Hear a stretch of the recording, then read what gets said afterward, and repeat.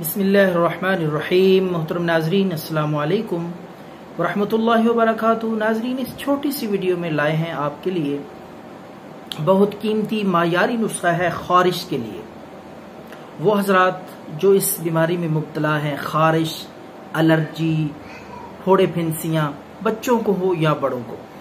یہ جو نسخہ بتانے لگا ہوں، بالکل سمپل، سادہ سا اور معیاری ہے خارش کے لیے.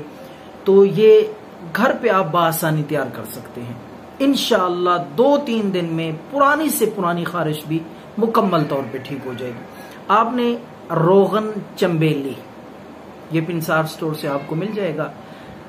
اچھا کسی اچھی کمپنی کا خالص روغن چمبیلی لائیں۔ دس گرام آپ نے لینا ہے، چھوٹی سی شیشی، دس گرام والی آپ لے کے اس میں آپ نے ایک اور چیز ہے، صرف دو چیزیں ہیں اس نسخے میں۔ کوئی لمبا چوڑا مشکل کام نہیں ہے۔ یہ تیار کر کے رکھ لیں اور اس کی کوئی ایکسپیری بھی نہیں ہے، خراب بھی نہیں ہوگا یہ۔ جب چاہیں، جس وقت چاہیں خارش پھوڑے پھنسیوں پہ لگائیں، انشاءاللہ العزیز کھجلی ہوگی، خشک خارش یا پھوڑے پھنسیاں فوراً آرام آ جائے گا۔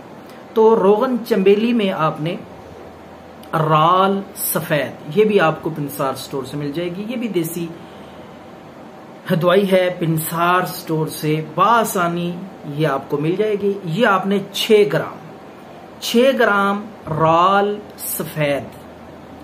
رال سفید کو آپ نے باریک پیس لینا ہے، بالکل آٹے کی طرح۔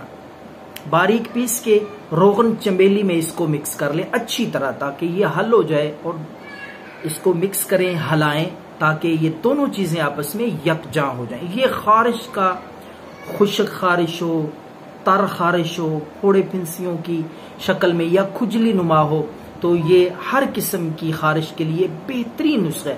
خارش پہ آپ نے رات کے وقت لیپ کر دینا ہے۔ تھوڑا تھوڑا آپ لگا دیں۔ صبح اٹھ کے نہا لیں۔ انشاءاللہ العزیز دو تین دفعہ لگانے سے خارش ختم ہو جائے گی۔ یہ ضرور ٹرائی کریں۔ بچوں کے لیے، بڑوں کے لیے، سب کے لیے مفید ہے۔ دعاؤں میں یاد رکھیں۔ اللہ حافظ۔